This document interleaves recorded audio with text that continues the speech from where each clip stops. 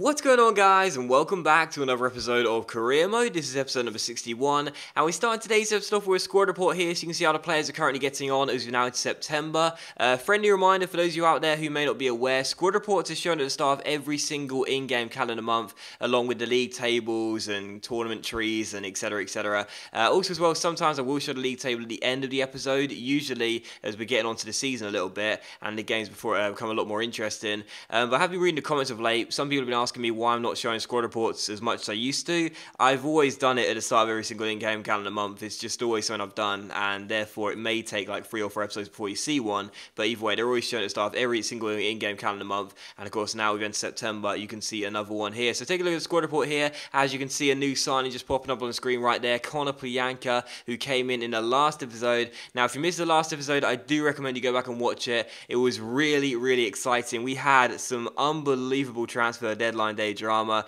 I did not think it was going to happen, but we managed to outstrength the German giants Bayern Munich and convince the Sevilla winger Konoplyanka to sign for us instead of go to the Allianz Arena on the final hour of transfer deadline day. It was absolutely crazy. We also uh, signed Inaki Williams for £5 million from Bilbao and also sold Charlie Austin as well, finally, at the fourth time of asking. And also as well, we've been joining our Champions League group, and how about that for a group as well? Our first season in the Champions League. Don't forget of Watford this season in the third season of the career mode. I did say that the aims of getting to the quarter final with the board, that's what they wanted, could be a little bit too much for us. And I said if we get ourselves a tough group, it may be, you know, one will fail. And, you know, we need to reach the quarter final stage. When you uh, come out of the group stage, you finish in first or second, you go to the round of 16 stage.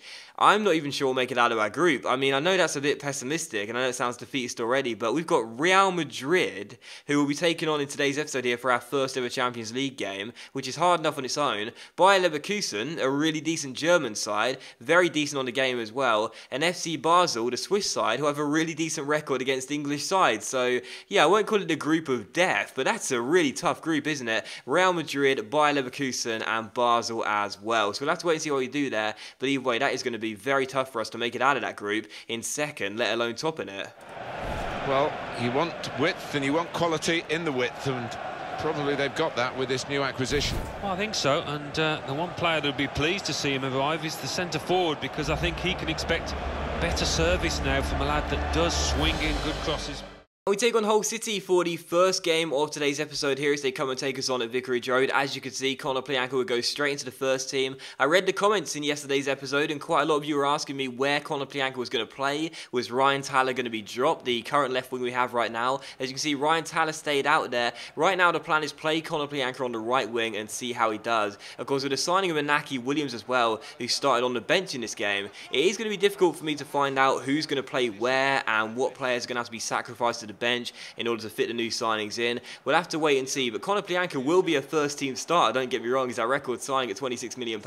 Of course, he would go straight into the first 11, but Ryan Tyler's going to stay in the left wing slot, he does well there. Loftus Cheek, again, not too sure if we will try him as a striker or a CAM this year, we'll have to wait and see. But Konoplyanka, the plan for the time being is to play him on the right side of the wing and see how he does. And 44 minutes into his debut as well, he'd win us a penalty. So already a good start for Konoplyanka. Takes it round his man here, gets taken down after the step over, and the referee gives a penalty as El Mohammadi brings him to the floor. And that was the correct decision as well. The referee gives us a penalty on the stroke of half time. Konoplyanka on his debut wins it, and Mario Balotelli, who's had a red hot start to his Watford career, stands up and has a chance to make it 1 0 just before the break. He didn't score against Swansea. Boufal got our only goal of the game in that game, but he does score here on the stroke of half time, sending the goalkeeper the wrong way and making it Watford 1, Hull City nil. So Mario Balotelli converting a penalty. He's just too reliable from penalties, man. Like, I know he's missed a couple in his career and everything, but whenever he stands up and he's 12 yards out, the ball's on the spot, you just feel like he's going to score. And it's the same in FIFA as well. And I'm someone who's missed quite a lot of penalties in FIFA before. Uh, offline, not as much as online. But with Mario Balotelli, like, every time we win a penalty with Balotelli in this career, I'm just going to think, you know, we got, we got ourselves a goal there. They may as well just, you know, put the ball on the centre circle instead, because we're going to put this ball in the back of the net. It's obviously we're going to get the goal, and uh, we'll probably make it 1-0. 1-0. That's what we did in this game. Watford won, Hull City nil. Balotelli opening the scoring. And in the 62nd minute it was another goal for Super Mario as well. Conor Konoplyanka won the penalty for the first goal and he got the assist for this goal as well. Not sure whether he get credit with it or not. I should have checked really. But as you can see, he goes down the right hand side here, swings it across the centre. It does take a deflection in all honesty. But Deeney misses the ball. It comes to Mario Balotelli and it's a great finish by Mario into the bottom corner. And that's already six goals in the Premier League. This being the fifth game of the Premier League season. Six goals already for Mario Balotelli. That's absolutely crazy. That's already half of what Deeney got last season for the entire season. That's just absolutely insane. What a beginning he's had to his Watford career, and he does make it Watford 2, Hull City nil. And in the 69th minute, after some nice passing here, we play out from the back as per usual. Joe Davis finds Nathaniel Clyne, who chips it down the right hand side towards Obi Olare. Takes it around Harry Maguire here, beats Andrew Robertson as well with the fake shot, crosses the ball in. Who's in the centre? Do I need to tell you who's in the centre? Mario Balotelli, of course, heading in with a diving header and making it Watford 3, Hull City nil. So if you want someone to cross it into the centre, you probably want Obi Olari being the man in the centre to head it in. But instead, our giant striker off the bench swings it across himself, picks out Mario Balotelli with the diving header, puts it into the bottom corner, and that's already seven goals in the Premier League for our number 45. So absolutely incredible from Balotelli. Right now, he is just looking unbelievably good. And as a signing, you know, on a free transfer, I've said it every single episode, I think, since he's come in, but I did say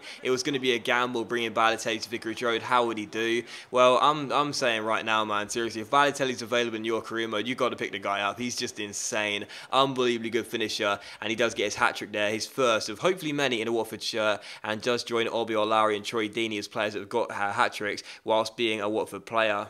What a brilliant performance from this fella. Well, he goes across and grabs the match ball from the ref, a hat-trick, and that's to be treasured by any player. He's already well in front of the Premier League goal scoring charts right now, and I'll be very surprised if someone else wins the Golden Boot this year. I've got big aims for Balotelli after the start he's made, but I think he's going to match them. He has been absolutely fantastic, and I do believe he'll be the first Watford player to claim the Golden Boot in the Premier League in this series. So a 9.2 for Balotelli, unsurprisingly, my man the match. What a performance from Super Mario, and what a signing he is looking to be. Uh, still following out some more player training, and we also come into our first Champions League game of the series as well. Our third season here Watford. We're in the Champions League now. We want to stay in there for as long as possible. We want to stay in there this season as well. We got a very tough group Bayer Leverkusen and Basel, and of course this little side as well, Real Madrid. They are going to be an unbelievably difficult team to face, both home and away. And we take them on for the first game of our Champions League group here as well, away from home at the Bernabeu. Well, he could be the star turn in this game. Three in his previous match, hat trick. He'll be looking for more today. And you'd certainly be forgiven for thinking that we might have our first defeat of the season here, taking on Real Madrid away at the Bernabeu for our first ever Champions League game. But as you can see with the side I picked, it was one of the strongest ones possible. Boufal returned to the first 11 and Loftus-Cheek got a start up front in this game as well. And the reason I did that is because of what you'll see right here. He is such a good player when it comes down to holding the ball up and bringing his teammates into play, which is exactly what he does here with his teammate Konoplyanka. The Ukrainian gives him the ball back, Loftus-Cheek goes through one-on-one, -on -one, and how is your luck right there? He not only hits one post, but hits two posts with the same shot, and eventually Casilla dives on the rebound. So, so unfortunate from Loftus Cheek there. But in the 43rd minute, he's added again. He's putting his weight around, throwing his weight around, throwing his body around, winning the ball back from a terrible throw in, chesting it down, taking it around the last defender, and what a finish from Ruben as well. With this guy, the stats really do lie. He's got a strength rating of 64, but it seems so much higher. He's six foot three. He's really good at keeping hold that ball, shielding his body, taking out defenders, and he's got a good finish on him as well, despite the low rating. What a superb finish that is by Ruben Loftus-Cheek, and our new number 8 for the season, previously 36, makes it Real Madrid nil, Watford 1. So you can see why he was so integral for me to bring him back. Honestly, this is one of the most versatile players I have ever used in career mode. The guy can literally play anywhere. He's fantastic. So Real Madrid nil, Watford 1, and going into the break, I was going down the tunnel fist pumping.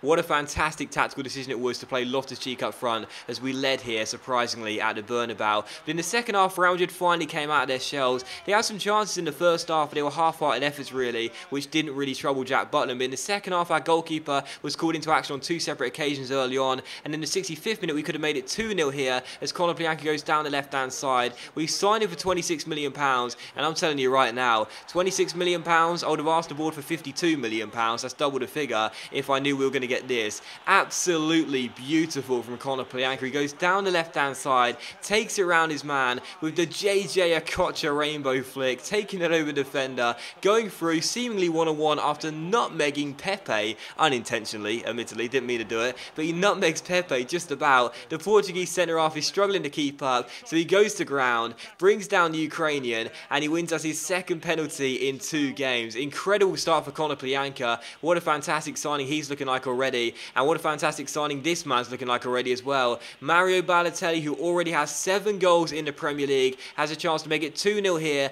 and get his first in the Champions League, and he does just that as well. The coolest penalty taker in the world right now, Mario Balotelli, sending Kiko Casilla the wrong way, putting it into the bottom corner and making it Real Madrid nil, Watford 2, and Konoplyanka winning his second penalty in two games for us, Mario Balotelli converting his second penalty in two games for us. Gotta say right now, these two as new signings are looking absolutely fantastic already, and it is 2-0 to Watford in this game. So two goals up with Watford here at the Bernabeu. I did not think this would be possible coming into the game. Not that I was doubting the team's ability or anything, I just thought Rangers would be too superior for us. Jack Butland then made another good save, then in the 89th minute here, I couldn't blame Butland for this one. I don't know why I thought heading the ball backwards there with Joel Matip was going to be a good idea. It was never going to have the distance to reach the edge of the area when you think about where Matip was on the pitch. It was a terrible decision. Butland comes charging out of his goal, held down the triangle button. He didn't get there. Vasquez runs through, takes it round and makes it 2-1 to get Roundger back in the game after a terrible piece of defending. But thankfully for us, even though Butland's clean sheet goes, which is a bit of a shame, it doesn't matter because we hold on for the win. We hold on for the three points. And what an incredible result this was. Without doubt, in my opinion, the best result of the series so far. We beat Real Madrid away at the Bernabeu at their house by two goals to one. I actually thought we played okay as well, despite the stats showing you that Real Madrid probably played a little bit better than us. I thought we played okay. But either way, a two goal to one scoreline. What a fantastic result. I would have taken a draw before the game, but to win our first game against Madrid away, what a brilliant start. I am so, so pleased I've brought in Balotelli and Konoplyanka and Loftus-Cheek as well. You can see exactly why it was so important we brought him back to the team. But that does end the episode, guys, so thank you very much for watching the video. I really hope you enjoyed it. If you enjoyed today's episode of Career Mode, then please do leave a like, so that's much appreciated. It really does help my channel out. And I'll see you for the next episode of Career Mode very soon.